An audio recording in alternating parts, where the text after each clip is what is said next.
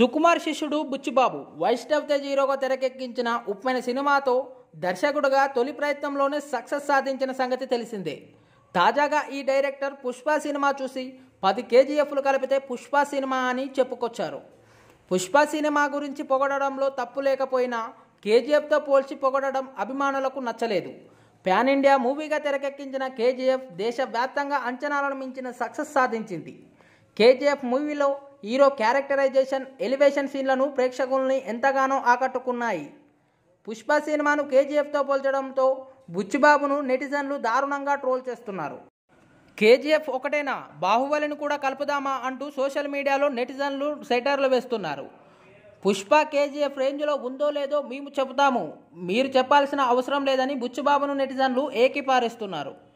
మీ cinema బాగుంటే మంచి cinema అని చెప్పాలి. అంతే తప్ప కేజీఎఫ్తో పోల్చడానికి నువ్వెవరంటూ కొందరు నెటిజన్లు అభిప్రాయపడుతున్నారు.